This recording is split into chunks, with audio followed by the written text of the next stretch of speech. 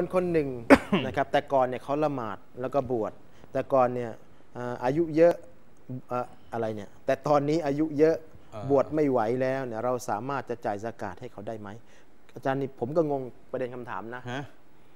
คนคนหนึ่งนะครับ แต่ก่อนเขาละหมาดเขาก็ละหมาดก็บวชแต่ตอนนี้อายุเยอะบวชไม่ไหวแล้ว เราสามารถจะจ่ายสกาดให้เขาได้ไหมเข้าใจคำถามไหมฮะผมไม่เข้าใจนะเนี่ย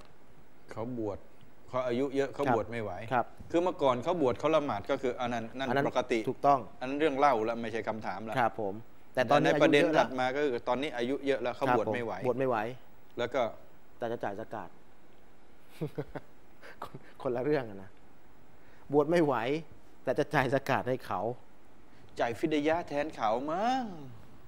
อันนี้ต้องต้องต้องถามเจ้าของคำถาม เพราะว่าคนบวชไม่ได้อะคนครับคนคนคนบวชไม่ได้อะก็มีหุกกลมการจ่ายฟิดยะห์อ่าเป็นไปได้ใช่ปะในแง่นี้ที่นะจ่ายทดแทนการบวชอ่าฮะแล้วปัญหาว่าเขาเขาเขาเขาแย่เขาขนาดไหน ไม่มีสถานะครับที่จะมีกำลังที่จะไปจ่ายฟิดยะห์เราอ่าฮะจ่ายแทนเขาได้ไหมอ่าฮะเพราะงั้นมันน่าจะเป็นการจ่ายฟรียะจ่ายฟิดยะห์แทครับนเขามากกว่าอือฮึหรือเขาจนเขาไม่มี แต่เราเน่ะมีสกาดเอาสกาดไปให้เขาเพื่อให้เขาอะไรไปไปมีความสามารถไปจ่ายฟิดยะห์ครับ หรือไง นี่เขาเรียกประโยคมันตนากุศกันอาจารย์ฮะประโยคมันขัดแย้ง เพราะพี่น้องถามมาในช่วงช่วงเดี๋ยวช่วงต้นประโยค เดี๋ยวต้องมาสอนเรื่องตนากุศกันอีกอะครับ บวชไม่ไหวแล้ว แต่ว่าเราจะจ่ายสกาดเนี่ยมันคือมันคตนนาละกุเรื่ศองมันคือเรื่องครับเรื่องเดียวกันที่มันที่มันชนกันครับผม ถ้าคนละเรื่อง พูดคนละกรณีเขาไม่เรียกตนากุศครับ อันนี้คนคนคนคนละกรณีนะอ่าถ้าคนละกรณีไม่เรียกตนากุศครับอ่าแก้วใบนี้ขาว แก้วใบนู้นเขียวครับ เขียวไหมเขียวเขียวอ่านี่ไงแค่แก้วใบนี้ขาว แก้วใบนู้นเขียวครับตนากุศไหมเนี่ย ก็คนละมันก็ค้านมันแย้งกันไหม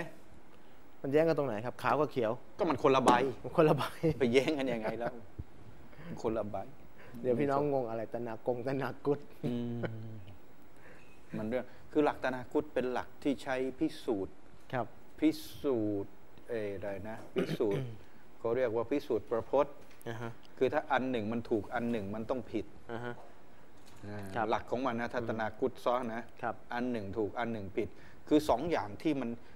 คือคือเรื่องที่มันค้านกัน แล้วมันถูกทั้งคู่ไม่ใช่อ่าฮะมันผิดทั้งคู่ไม่ใช่อ่าฮะหลักของมันคืออันหนึ่งถูกอันหนึ่งผิดอ่าฮะแต่ถ้าต้องเป็นเรื่องเดียวกันครับแล้วมันเรื่องเดียวกันแล้วมันชนกันอ่าฮะแล้วนี่มันพูดถึงแก้วคนละใบแล้วมันไปครับชนกันตรงไหนล่ะแก้วใบนี้ขาวแก้วใบนู้นเขียวครับก็เรียกตนาคุตไหมนะไม่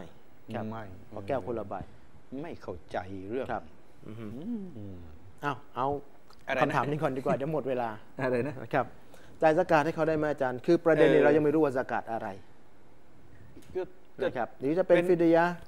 เป็นเป็นอย่างนี้ได้ไหมอาจารย์มุนติดครับ เพราะว่าคนที่บวชไม่ไหวเนี่ยเขาเขาต้องจ่ายฟิฟิดดยะยะห์ล่ะแทนครับผม ใช่ไหมคนไม่ไหวนะไม่ใช่คนไม่บวชเอาเราตอบสองกรณีแล้วกันอ่าครับผมหนึ่งเขาเขาคนคนแก่ไม่ครับไหวแล้วอือฮึเขาบวชไม่ได้อือฮึ เราจ่ายฟิดยะห์แทนเขาได้ครับไหมนั่นกรณีหนึ่งแต่อะกรณีหนึ่งกรณีเนี้ยได้ไหมอะได้สิครับผมได้อ่าฮะเพราะเราจ่ายแทนจะเป็นครับลูกจะเป็นหลานจะเป็นคครันบอะไรอ้าวจ่ายแทนเขาครับเพราะอะไรล่ะ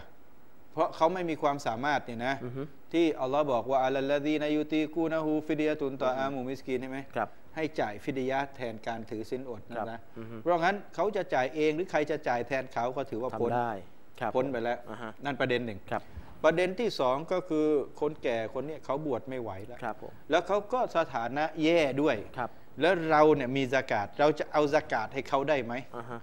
เพื่อที่เขาจะได้เอาไปจ่ายฟิดยะห์ครับแทนการครับบวชของเขาหรือจะเอาเก็บไว้กินนะครับผมได้ก็ไหมได้อีกประเด็นหนึ่งครับจ่ายได้ไหมจ่ายได้ไอ้สกาดให้คนจนคนยากจนอนาถานี่ได้อยู่แล้วอ่าเพราะเขาแย่นะครับยังไม่ใช่สกาดไว้ให้คนรวยนะ ไม่ใช่ครับผมให้คนจนอือฮึอ่าเอาสกาดครับ แหมเราก็ทำถามก็งงเราก็ตอบให้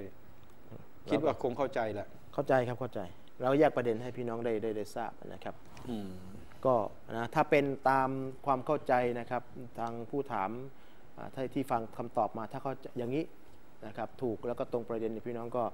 ทำดีแล้วนะครับ ถ้าไม่ตรงประเด็นพี่น้องเอามาใหม่นะครับ เขียนมาใหม่ให้กระชับกว่านี้อีกสักหน่อยหนึ่งเขียนะนครัมาบใหม่แต่ต้องตอบวันอื่นนะวันอื่นครับวันพออื่กิ้งนมาตอนนี้ก็คงจะไม่ต้องทันรอแล้วนะครับเพราะว่าคำถามเนี่ยค่อนข้างเยอะอืมที่ผมในยส่วนหนึ่งเท่านั้นแหละนะครับมันมีอีก